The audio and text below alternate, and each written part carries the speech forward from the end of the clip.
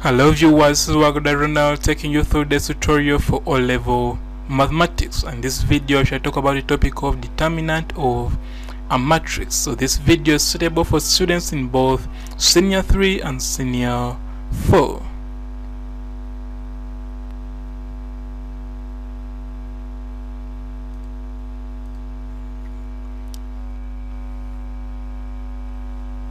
So the determinant of a matrix A, which is a 2 by 2 matrix, which is A, B, C, D, is denoted by either this, so you can say det A. So when you see this, just know they want they mean determinant, or this where in, with these two bars, these two bars mean magnitude. So magnitude of a matrix is what we call a determinant. So when you see that, it also means determinant, or when you see this whereby they are written the very matrix by this time I think you realize that this these are curved brackets but now here these are straight lines. So when you see this just know it means determinant of a matrix of a b c d. So those are the three ways in which uh, the word the determinant of a matrix can be expressed and therefore can be calculated from the formula that determinant of a matrix is equal to product of entries in the major diagonal minus product of entries in the minor diagonal. So there's there are these two terms major diagonal and minor diagonal. So what are the entries in the minor diagonal and major diagonal? So if you look at this 2 by 2 matrix the entries along that line are what we call the entries in the major diagonal and the entries along this line are what we call the entries in the minor diagonal. Therefore the determinant of this matrix will be given by this. So a times d to come up with a times d here minus the product of the entries in the minor diagonal which is c times b to come up with c times b here. So a times d is ad and c times b is cb so basically that is the formula that is used to get determinant of a matrix. So there's something to note here that if you calculate the determinant of a matrix and you get the determinant as 0 that matrix will be given a special name and its name is called a singular matrix. So each time you get a matrix and they tell you that this matrix is a singular matrix it implies that its determinant is equal to 0 so that knowledge you shall go through these examples. So example 1 came from UNEB 2003 paper 1 question 6 and it says if matrix A which is 2002 and matrix B which is 4826 find determinant of AB so that means that you have to multiply A with B followed by B after that you get its determinant. So you shall come and say that AB is equal to this is matrix A this is matrix B so you have to multiply the two. So when you multiply the two we are going to come up with this. So remember we multiply row by column therefore 2 times 4 2 times 4 is 8 which is this. Then 0 times 2 is 0 which is that then again first row second column we shall get 2 times 6 8 which is 16 and 0 times 6 which is 0 then again now second row first column we shall get 2 times 0 sorry 0 times 4 to come up with 0 then 2 times 2 to come up with 4 then second row second column so it will be 0 times 8 to come up with 0 2 times 6 to come up with 12 the next will be to simplify. So when I simplify I come up with 8 16 4 12 now that is the matrix AB now we want to get its determinant so shall come and say det AB is equal to 8 times 12 to come up with that minus 4 times 16 to come up with that. So always remember that that is major diagonal first then minus minor diagonal. So when I simplify this I'll come up with 96 so this gives me 96 and this gives me 64 and when I subtract I'll come up with 32 so basically that's what they wanted. Now let's see how much can be awarded. So this m1 was for this matrix multiplication another m1 for the output. So this would have been b1 here you put b1 then this m1 for, was for the substitution and this a1 for the output. Now we shall go to example 2 which came from UNEB 2010 paper 2 question 16b and says given matrix P which is 2 negative 1 3 negative 2 matrix Q which is 1 5 2 negative 3 and matrix R which is 4 3 1 negative 2 find Roman 1 QR minus P. Then Roman 2 determinant of QR minus P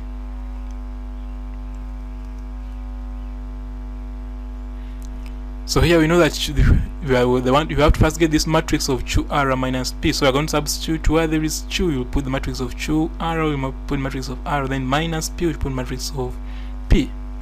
So next will be first multiplying these two matrices, so row by column. So always remember that multiplying matrix matrices is row by column. So 1 times 4 will give you this 4 and 5 times 1 will give you this 5. You have to add the 2 the next is first row second column. So 1 times 3 will give you this 3 5 times negative 2 will give you this negative 10 then next will be row, second row first column. So 2 times 4 will give you this 8 and negative 3 times 1 will give you this negative 3 then second, row second column 2 times 3 will give you this 6 and negative 3 times negative 2 will give you this positive 6 so that is that is by that we have multiplied now next is to simplify. So when I simplify I come up with 9 negative 7 5 12 then minus this matrix here.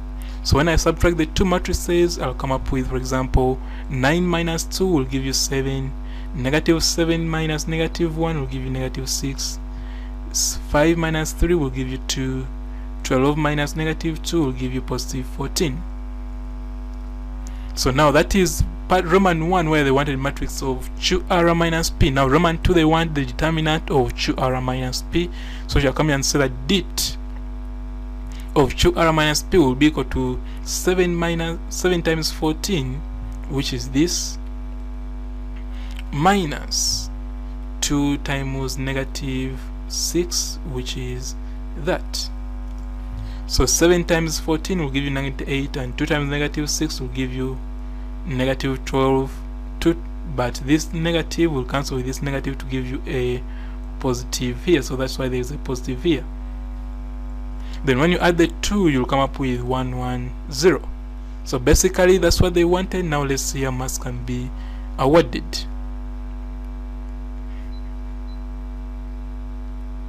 so this m1 was for substituting the all the matrices so substituting for q for r and for P correctly that is M1 then this M1 was for matrix multiplication. Both rows so there are two M's meaning that this first M1 was for the first row and this M1 was for the second row then this M1 was for subtraction. So for you to subtract the two matrices that is M1 and for you to get the output it would have been A1 so here you put A1 not M1 it is A1 then this m1 was for this substitution in the determine formula for determinant and a1 was for the output which is 110 so now we shall go to example 3 which came from UNEB 1992 paper 2 question 14 and it says if the determinant of the matrix which is 3a 8 minus a minus 8 negative 6 a minus 2 is 0 so I think we see that this determinant is 0 meaning this is a singular matrix. Okay so if the determinant is 0 what are the values of a? So they can ask this question in two ways. They can say if the determinant is 0 or this matrix is 0 find the values of a or Instead of saying that determinant is 0, they can say if this is a singular matrix, find the values of A. So those two words mean the same. They can talk about singular matrix or they can talk about determinant being 0. So take note of that. So first of all, you have to know that A is that. So therefore, determinant of A will be equal to product of the values in the major diagonal. So 3A times A minus 2, that is product of the entries in the major diagonal then minus product of the entries in the minor diagonal which is negative 6 times 8 minus a which is that part. So next we'll be simplifying. So when I open brackets here it will be 3a times a to give you 3a squared. Then also 3a times negative 2 to give you negative 6 here. Then minus. Now this minus and this negative will cancel to give you this positive here so remain with positive 6 so positive 6 times a will give you positive 6a then positive 6 times negative 8 will give you negative 48 which is that. So from there we have to simplify because this and this I think you realize that they can cancel. So we remain with 3a minus 48 being equal to 0 then when I take 48 on the other side I'll come up with that. And when I divide both sides by 3 I'll come up with a squared equal to 16 and when I put square root on both sides I'll come up with a being equal to plus or minus. So not this one it has to be plus or minus 4 so those are the two values of a. And basically that's what they wanted. Now let's see how much can be awarded.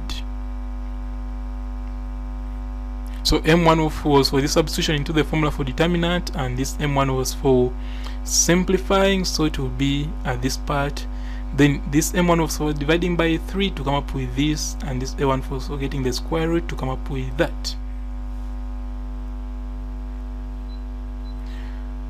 The next example 4 came from UNEB 2015 paper 1 question 13a and it says matrix A which is this and matrix B which is that.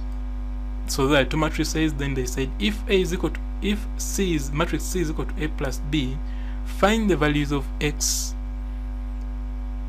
for which the determinant of the matrix is C is 2 so the first thing to do is to get the value of matrix C. So shall come here and say, we are given that matrix C is equal to matrix A plus matrix B. So shall come and substitute for A and for B. Then we add the 2. When I add x plus 7 plus x minus 1, I'll come up with 2x plus 4. Also when I add x plus 0, I'll come up with x and when I add 3 plus 2 I'll come up with 5 when I add 0 plus 2 I'll come up with 2 so that is now matrix C but they told us the determinant of matrix C is 2 so what I'm going to do I have to first get the determinant of matrix C. Now the determinant is equal to product of entries in the major diagonal which will be 2 times x 2x plus 6 which is that minus the product of entries in the minor diagonal which is that. So 5 times x will give you that. The next is to substitute. Remember I was told that the determinant of c is 2 so that means that this one is 2 that is why I put here 2 then when I simplify this 2 multiplied through so 2 times this gives 4x then 2 times this gives 12 then this 5 times x gives 5x the next is to simplify. So when I simplify this and this gives me negative x which is that then this is 12 and this is 2 the next is to make x the subject. So when I make x the subject I'll come up with x being equal to 10 so basically that's what they wanted and now let's see how much can be awarded So M1 was for the substitution of the matrices and B1 was for the output. So to add the output, M1 was for the substitution in the formula for determinant and another M1 for simplifying and A1 for the output. Now shall go to example 5 which came from UNEB 1993 paper 1 question 9 and it says given that matrices matrix A which is that which is 3x y4 and determinant of that matrix is 3x plus 12 determine the value of x and y. So we are given matrix A. So from this value we shall have to calculate its determinant so determinant is equal to product of entries in the major diagonal which is 3 times 4 which is that minus product of entries in the minor diagonal which is y times x which is that but remember we are told that the determinant is 3x plus 12 so when I simplify this I'll come up with 12 minus yx but that determinant value is equal to this. So I'll come and substitute that. So I know that determinant of a is this therefore I'll come and substitute and equate the two. Because the, this determinant. Where there is this dit a I'm going to put there this value to come up with this statement so after that I'll have to simplify. When I simplify I realize that this 12 and this 12 cancel. So this side will remain with negative yx and this side will remain with 3x now from here the mistake students make is to cancel x. This x cannot cancel at this step always note that the best the appropriate formula is to factorize. So what we are going to do take everything on one side. So when I take this one on the other side I'll come up with 0 being equal to 3x plus yx then from there I will factorize because x is common to come up with 0 being equal to 3 plus y in brackets multiplied by x. That means that either 3 plus y is 0 or x is 0 so shall come up with that 3 plus y is equal to 0 or x is 0 therefore from this part I realize that y is equal to negative 3 and x is equal to 0 so basically that's what they wanted. Now let's see how much can be awarded